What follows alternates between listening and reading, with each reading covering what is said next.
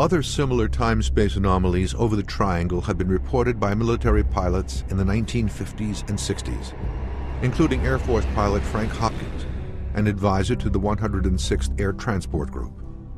In the summer of 1968, he wrote to Argosy magazine with a story of a time-space continuum shift while flying a C-97 Stratofreighter over the Dragon's Triangle.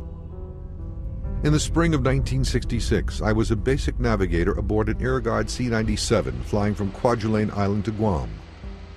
We looked forward to a pleasant night flight of about six to six and a half hours.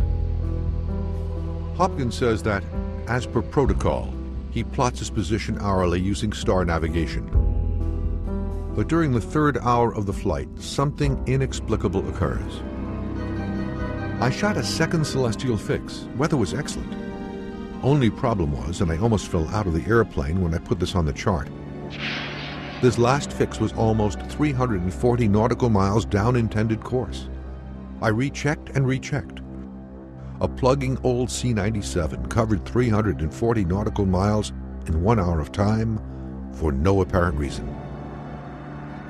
Later, upon landing on Guam, Hopkins reports to his duty officer that his airplane jumped many hundreds of miles ahead of course but no report is filed. Hopkins says that he remains convinced, however, that this area is indeed home to peculiar forces that pose great danger to airplanes and ships. Due to the confluence of these events, experts continue to feel other forces might possibly be at work deep below the triangle.